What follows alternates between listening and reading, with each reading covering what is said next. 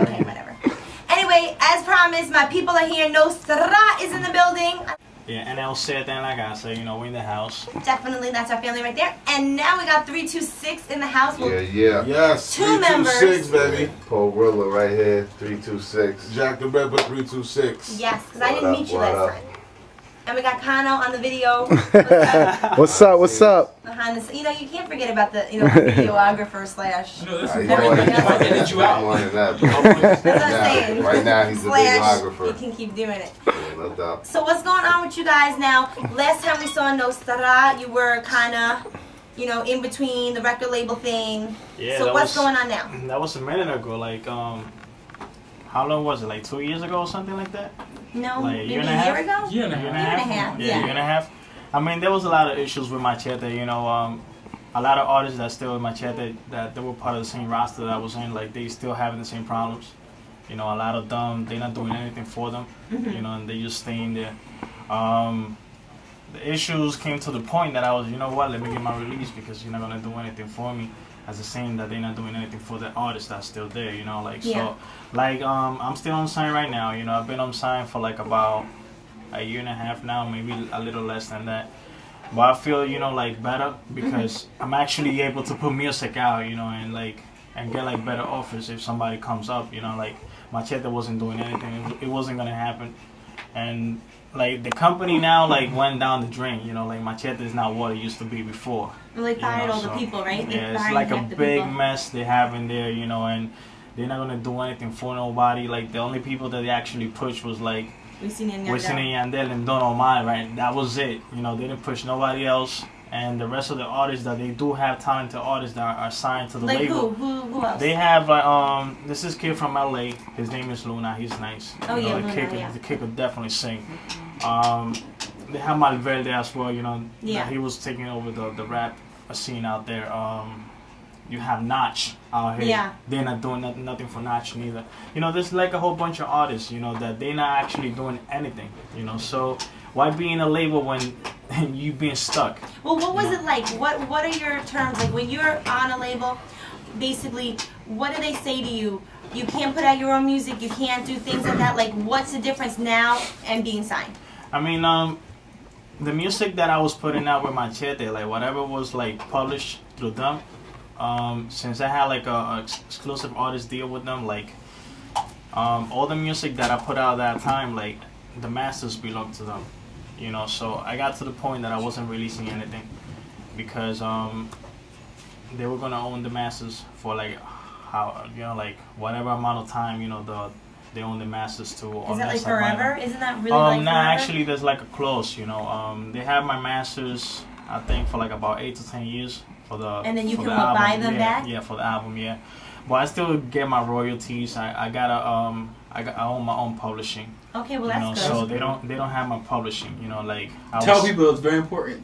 Own your own publishing. That's like everything. Yeah, like they only have the masters to the record that they put out. You know, but Mhm. my publishing, I, I have you know total control of it. Um, and you put out two records. now I only put out one album. With Okay, them. and then you had like the a second album, yeah, I put out a mixtape Okay. with them. Um, the second album was being like worked and everything, and Yeah. they they were like, okay, we're gonna do it. We're gonna um, this is the budget that you're gonna have. Then it was like a back and forth. You know, we came like to like you could say bad blood like between like certain things. You know, um, and it didn't go out like the way that it was supposed to. So it was just like a waste of time, like working on the second album. You know, like um, that's when the whole like reggaeton scene started. You know, like getting even bigger. Mhm. So money wise, you know, prices for producers and art and artists is is increasing as And you well. were working with some like really great producers, Exactly. like you know, so um, it was like also there was like a lot of people like I had a really good relationship with Gus Lopez, Mhm. which was the president of Machete, but there was a lot of people behind the label that he had to come and speak to afterwards. You know that they they wasn't that really friendly with me. You know, like there's always. I think people. there were some people that were hating on you over yes, a lot of people in there. there. Why you know? were they doing that? But I will say like I was the only artist signed from New York Yeah. to the label. Um, non Puerto Rican, you know. At the end of the day, I don't have anything against Puerto Rican or anybody else. Yeah. But um, they have um, in Puerto Rico they have like a lot of the producers out there, like the people that's in the reggaeton scene. They have Yeah. a lot of um, like they only want their own people, you know, to like blow up or whatever, you know. So it, there was always like with DJs here in New York as well. You know, there was always people that um, they were like, oh, that's this kid from New York. He's Dominican, this and this and that. So they kind of like they listen to your music, but they kind of hate. Yeah, they hated on you a lot, but we never know. hated on you here. So that's the whole thing that happened. Where um if you if you like following the whole like Latin hip hop now, Yeah. um you have artists from DR, you have artists from Chile, you have artists from Mexico, Spain, you know, and so on.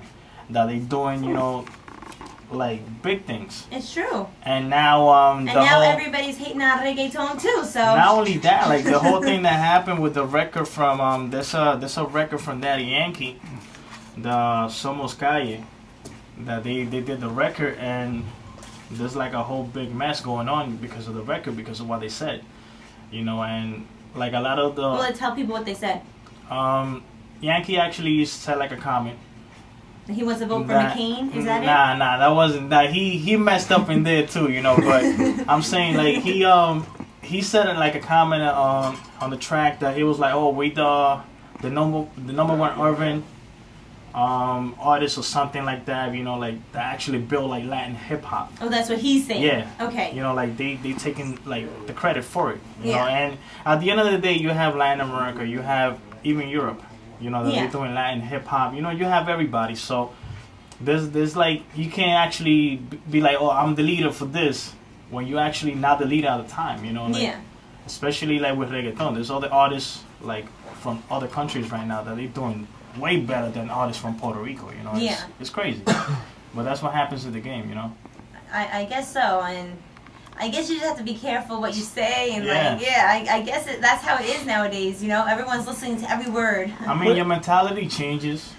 You know like like you like i could tell you that i learned a lot you know signing to machete you know i had other deals on the table before i signed with them but i thought that they was going to actually do something for me because they had Luny Tunes back then. Yeah, they had don omar you know Wisin and Yandel and everybody else. So i was like okay they're going to work me how usually like the the english labels work in artists. Yeah. like you have a new artist you have like a big roster they're going to give you at least one of, of the other artists on the big roster you know to like actually push you.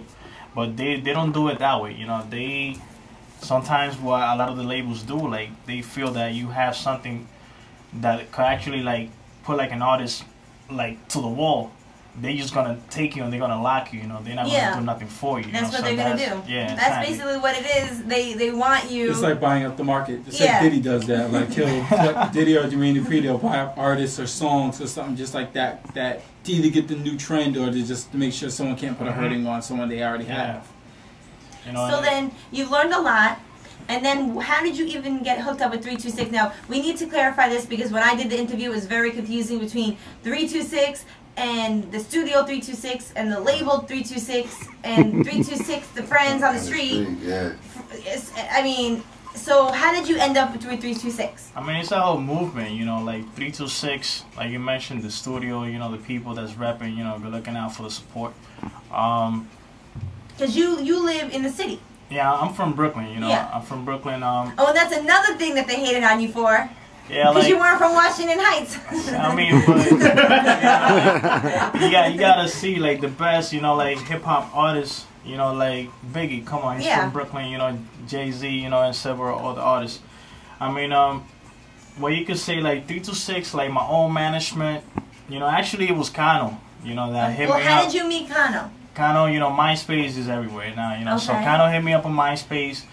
Um, remember that, that time that we came in with the other artists that he was working with? Yeah. Like we was gonna do a record together, you know. Actually, we was actually working together back then, and um, that's how we kind of like started developing the relationship, you know. So like when you develop a good relationship, you know, you just keep working together, you know. So that's Mhm. exactly what happened, you know. Now, kind Kano's my management, you know. Um, And no more. I don't. Scamo I don't music. wanna say. I don't deal No with the you know. Music.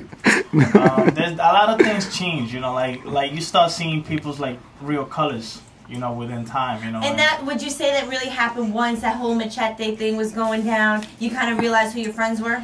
Um, I started seeing that before. Like actually, when I signed with Machete, that I started like people started noticing me. Mm-hmm. You have all this like people that start calling you like, yo, when we're gonna chill, this and this and that, you know. So I was like, yo, why wasn't you calling me before I got signed? You know, like that's being fake. You know, so there's there's actually like there's not too many people that I consider in my circle. Yeah. Yeah. You know, and the the ones that I do consider my like consider my circle is like the ones that I'm like, okay, they they're real. You know, like I could work with these people. You know, so like this guy.